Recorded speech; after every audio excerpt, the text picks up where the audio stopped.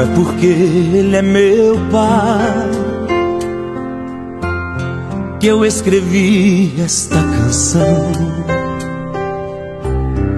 Fiz bem mais pela beleza de um senhor com uma grandeza além da imaginação. Não é porque ele é meu pai que eu exalto tanto assim. É que pela minha idade, esse anjo de bondade ainda cuida bem de mim. Me aconselha a todo instante me dá carinho, dá amor.